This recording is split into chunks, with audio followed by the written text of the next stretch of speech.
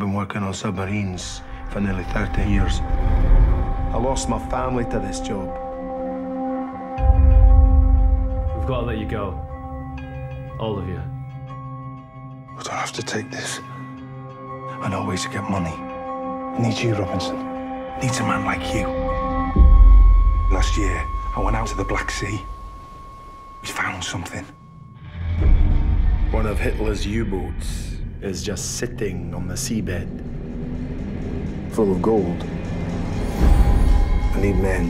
Half British, half Russian. Reynolds, Peters, Tobin. He's just a trusted boy.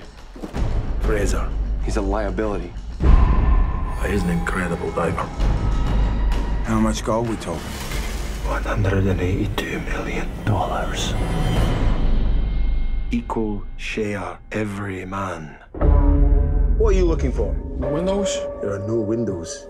What's the boom for? There's no chimney, is there? No, son, no chimney. Boss, we're ready. Closing! It's so unfair that they get the same as us.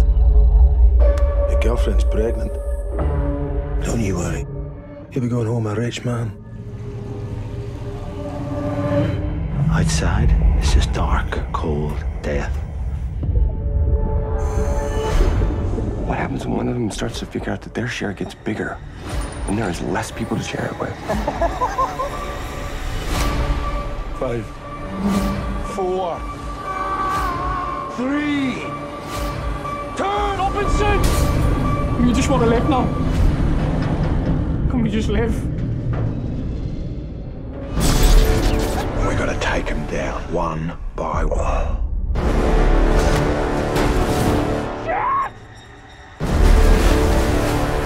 Close that door!